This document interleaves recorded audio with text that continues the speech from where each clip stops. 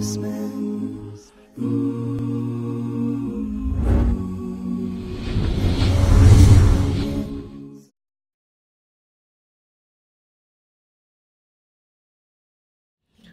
goal in life is to make sure that I leave behind something that's meaningful, that I participated in, in bettering this world, and that everything that I touched, I touched it with purpose, and I made sure that it was made better by my presence. The Quran, the Holy Quran, speaks about people who leave this world and the heavens nor the earth shed a tear for them. And what that means is that you don't benefit the earth, nor do you uh, have any good deeds to ascend to the heavens.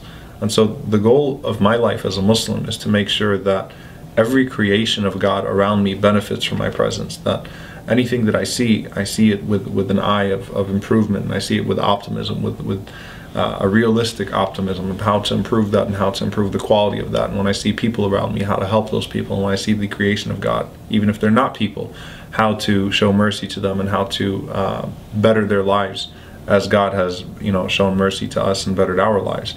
And when you leave this world, you know, there's a great uh, companion, the son-in-law of the Prophet Muhammad, peace be upon him, by the name of Ali. He said that make sure that you live your life in a way that people long to see you when you are alive and people miss you when you are gone. And that is not through uh, having, you know, a very uh, uh a very, very uh, harsh presence with people, but rather what that means is that uh, you leave this world as, as being a person who benefits others. And the Prophet Muhammad, peace be upon him, said that the best of people are those who benefit people the most.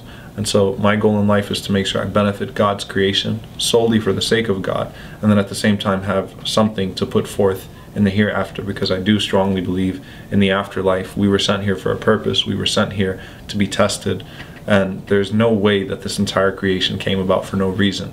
And so that's my goal. What's yours?